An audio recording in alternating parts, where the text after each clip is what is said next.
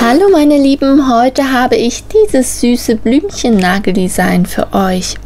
Alles was ihr dazu braucht sind Orange, Weiß, Gelb, Gold, einen schmalen Pinsel, ein kleines und ein mittelgroßes Dotting-Tool sowie Striping-Tapes dann kann es auch schon losgehen. Ich habe mir jetzt alle meine Fingernägel in dem Orangeton lackiert, außer den Ring und den Mittelfinger. Diese beiden Finger klebe ich jetzt mit den Striping Tapes ab und zwar jeweils eine schmale Fläche außen an den beiden Nägeln. Und dann nehme ich den schmalen Pinsel und das Orange und male mir die schmale Fläche aus und ziehe direkt, bevor der Nagellack trocknen kann, das Striping Tape wieder ab.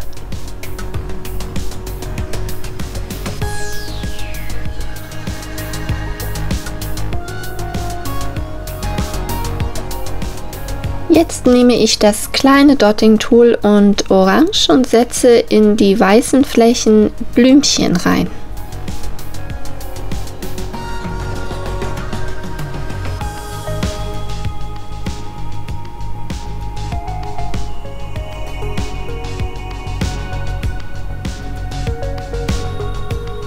Mit Gelb und dem kleinen Dotting Tool setze ich noch einen Punkt in die Mitte jeder Blüte.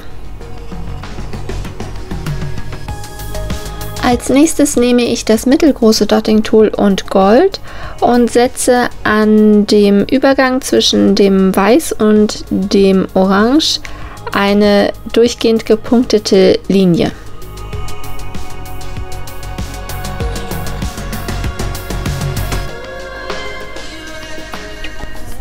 Zum Abschluss setze ich mit dem mittelgroßen Dotting Tool und Gold noch auf jeden der orangefarbenen Fingernägel einen Punkt unten.